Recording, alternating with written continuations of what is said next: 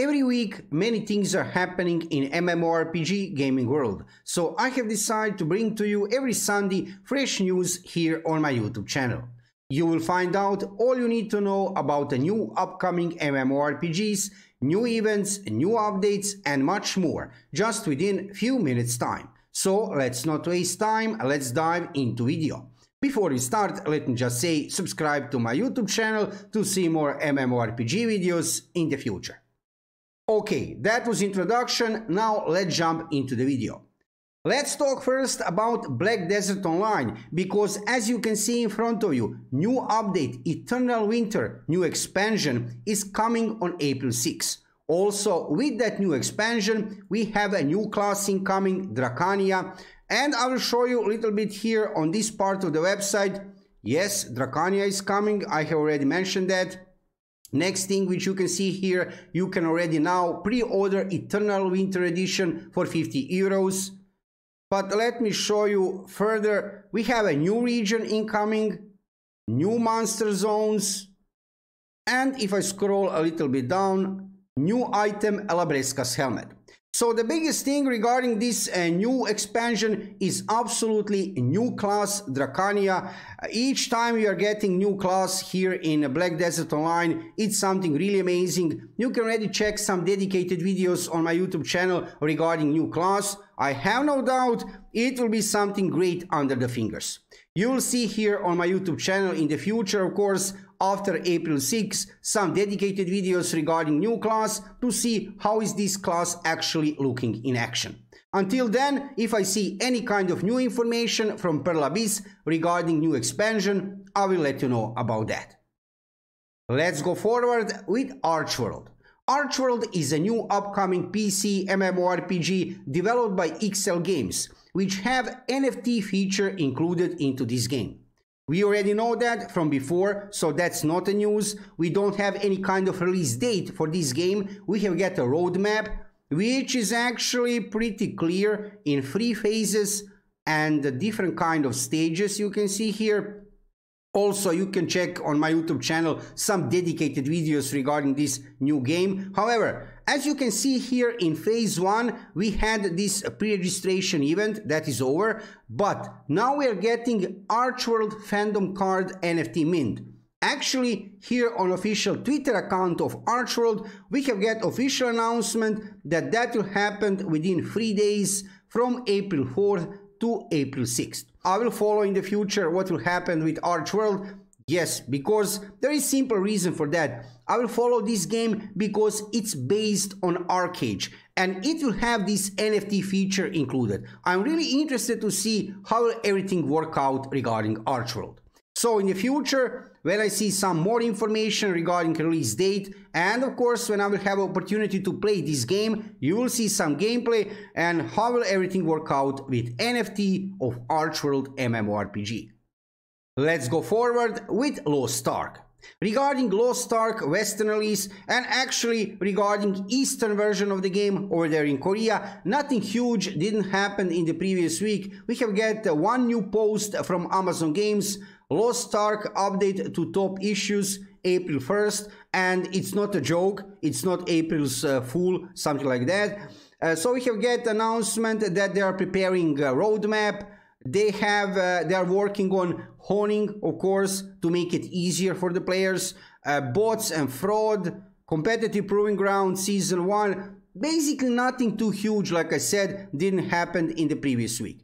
Other than that, number of players regarding Lost Ark here on Steam database, I can show you currently when I'm making this video 257,000 players, 24 hour peak 347,000 players, numbers are are still pretty decent. Let's say it like that right? So number of players did decrease. However not that much that we would say it's a dead game or something like that. Absolutely not. This it will not happen same as for new world. That will not happen because as you can see here, numbers will probably now remain like this, maybe a little bit lower. And with incoming of new updates and new classes, with release of roadmap, I have no doubt number of players will continue to increase.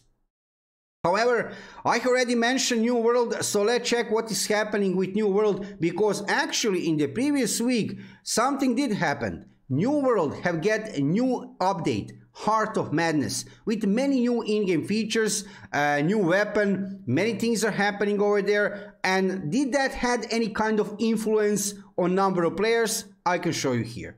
So as you can see in the previous week, uh, we had a little bit increase in number of players. Uh, currently when I'm making this video, 20,000 players, 24 hour peak, 31,000 players.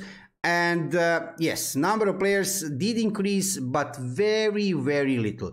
Before this new update, we had a peak, 24-hour uh, peak, we had like 26,000 players. So after new update, 31,000. So 5,000 players more. That's very far from this number on the right side of the screen, 913,000 players.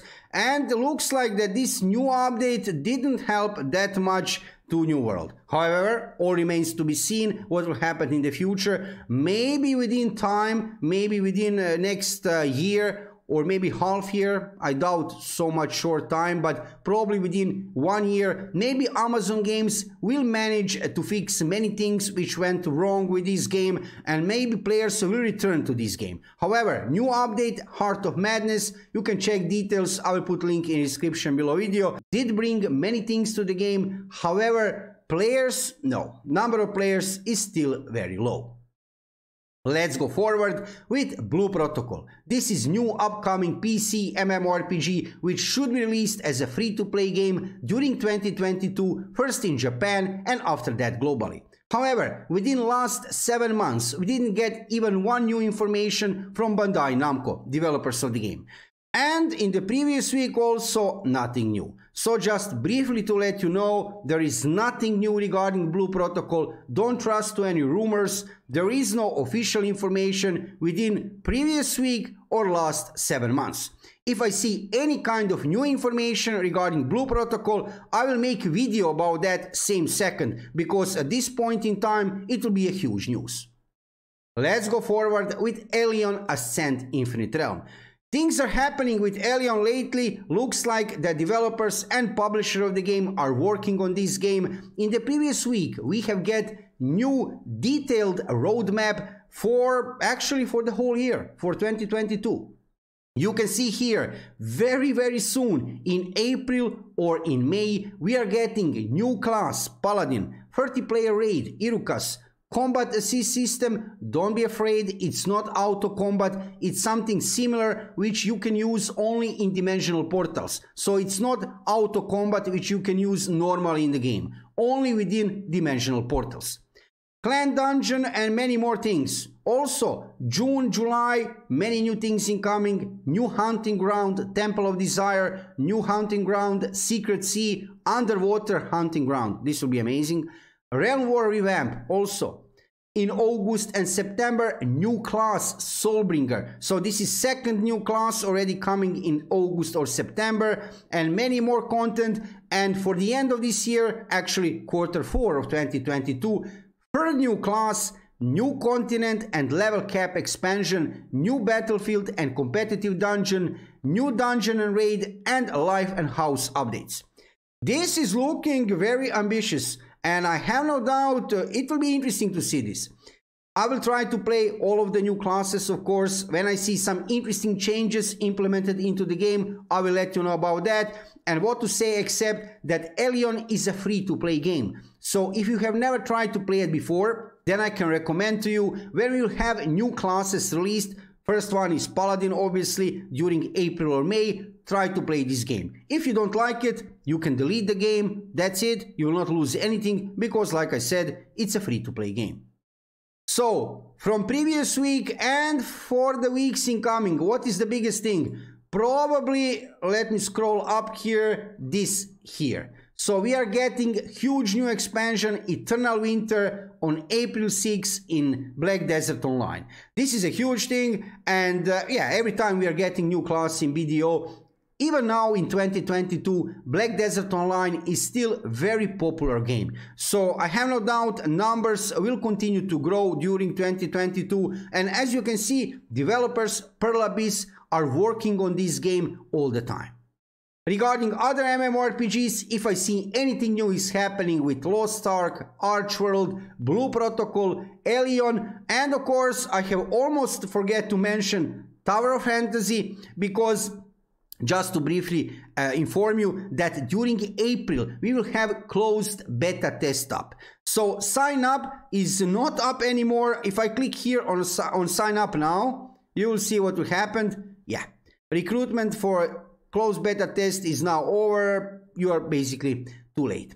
So recruitment is over. Don't worry about that uh, because uh, probably there, there won't be anyway too many people participating in this Tower of Fantasy closed beta test. If you are lucky enough, of course, try to play Tower of Fantasy closed beta. And during 2022, this new PC, not only PC, this game will also be released on mobile devices. However, it's a new MMORPG, will be released in Western regions. When I see some new development with Tower of Fantasy, of course I will let you know about that, because it's looking interesting. It's MMORPG, you can play it on PC, and like I said, it will be released in Western regions in 2022. So that's it for today's weekly edition of MMORPG Gaming News. Like I said, if I see anything new is happening in MMORPG gaming world, I will let you know about that. So if you are interested into MMORPGs, check lots of gameplay videos, guides for new players, news and reviews on my YouTube channel and make sure to subscribe. Thank you for watching the video and see you soon.